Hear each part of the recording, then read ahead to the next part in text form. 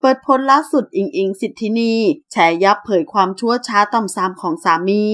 ล่าสุดอิงอิงสิทธินีได้โพสต์ข้อความลงในเฟซบุ๊กส่วนตัว เผยว่าได้อ่านทุกข้อความ ขอบคุณทุกกำลังใจ ที่จะให้อยู่สู้ต่อ ความตายไม่ได้น่ากลัวอย่างที่คิด เมื่อสองเดือนที่แล้วก็หยุดหายใจ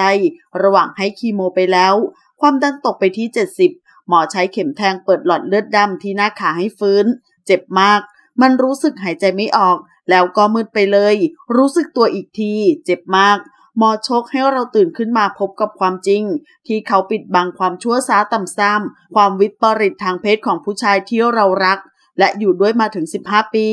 ตื่นขึ้นมาพบความจริงมากมาย ที่ทำให้เรารับเขาไม่ได้จริง ๆ เขาได้ทั้งผู้ชายผู้หญิงจริง ๆ เหรอเนี่ย